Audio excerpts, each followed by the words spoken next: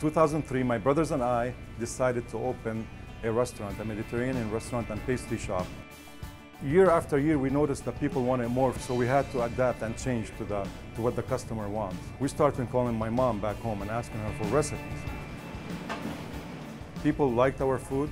Over the years, we have earned the trust of our community to come here every day and expect fresh and consistent food each and every time they visit us. Richardson was our first and only choice for many reasons. Uh, for the obvious reason, the location of Richardson being close to everything, because of also the cultural diversity of the population. Knowing that Richardson is uh, pro-business, we felt it's a comfortable environment for us to be in.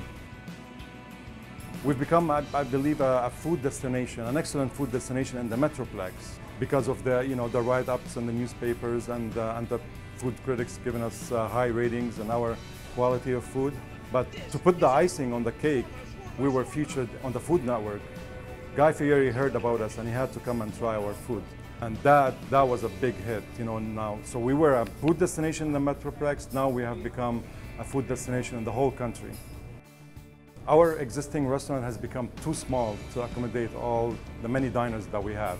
So we decided to build a bigger restaurant next door and we entertained the idea with the city of Richardson and they were so happy and glad. We were approved and we started right on it. Now we are at the final stages of putting the final touches for the inside of the restaurant and we're hoping to be opening in January 2015.